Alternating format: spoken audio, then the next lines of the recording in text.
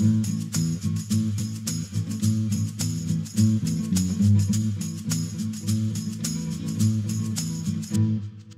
Holmes he put an advertisement in the morning papers to say we'd found a wedding ring in the street.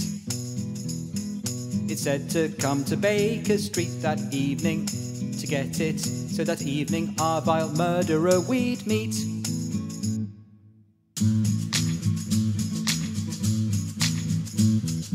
Holmes he had a copy of the ring made ready to show to any person who might come.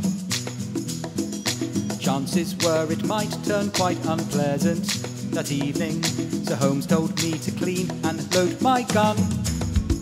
Whoa!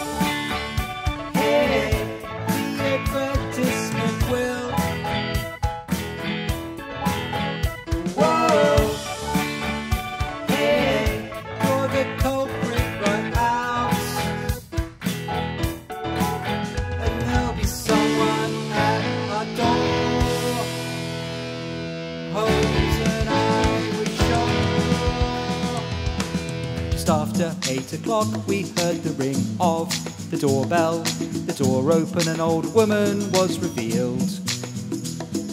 She said the ring had been misplaced by Sally, her daughter. She left with it with Holmes hot on her heels.